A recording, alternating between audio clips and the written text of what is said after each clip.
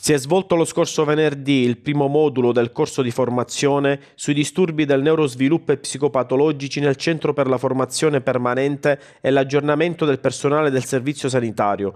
È stata l'occasione per porre l'attenzione su alcuni argomenti molto importanti, come fra gli altri il disturbo della comunicazione, il disturbo specifico dell'apprendimento e i disturbi del movimento.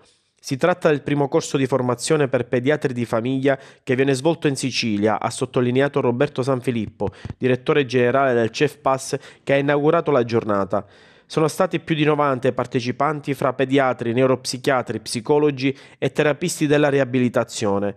A presentare il corso è stato Sergio Speciale, pediatra, presidente dell'Associazione Culturale Pediatri del Centro Sicilia, che ha spiegato come la necessità del corso sia nata dopo la pandemia a causa di grandi sconvolgimenti sia all'interno della società sia all'interno delle famiglie dove si è visto come disturbi relativi al neurosviluppo e psicopatologici siano aumentati a livello esponenziale.